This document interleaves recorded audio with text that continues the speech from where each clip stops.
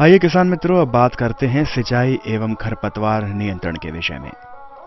किसान मित्रों, टमाटर की फ़सल में पहली सिंचाई रुपाई के तुरंत बाद करनी चाहिए। इसके बाद सर्दियों के मौसम में फ़सल को हर 10 दिन और बसंत में छठे सातवें दिन सींचना चाहिए।